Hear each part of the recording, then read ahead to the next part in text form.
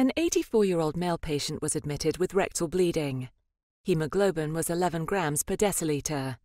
Gastroscopy showed minute prepyloric erosions and erosions in the duodenal bulb.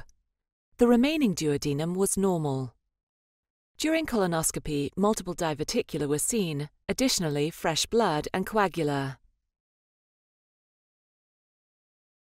After intubation of the terminal ileum, fresh blood was visible and a small diverticulum. Capsule endoscopy was performed immediately after colonoscopy in search of the origin of mid-gastrointestinal bleeding. Real-time viewers showed active bleeding presumably in the upper small bowel. Consecutively, data were downloaded and analyzed immediately after visualization of the colon.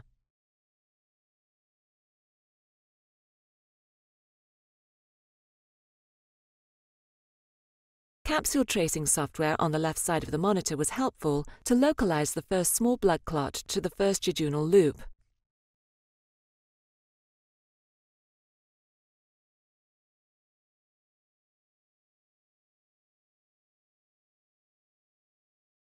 Close to the second jejunal loop, active bleeding was seen.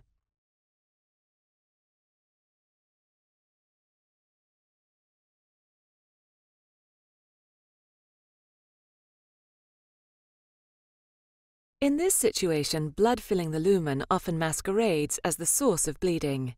However, when carefully scrolling single images forward and backward, two diverticula could be detected.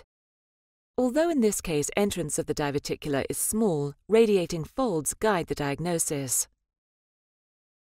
During capsule endoscopy, the patient passed larger amounts of blood and required resuscitation with crystalloids and packed red blood cells. Emergency CT angiography showed active bleeding with intraluminal contrast exudation close to an air-filled diverticulum. Like capsule findings, CT localization was proximal jejunum.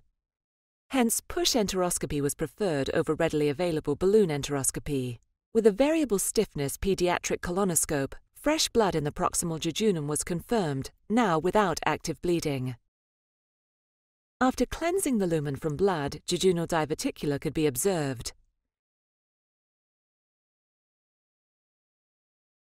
Inside one of the diverticula, a vessel was detected which had not been visible for capsule endoscopy. And finally, three metal clips were placed at the base of the vessel without reactivation of bleeding. Clips were still present at interval surgical resection.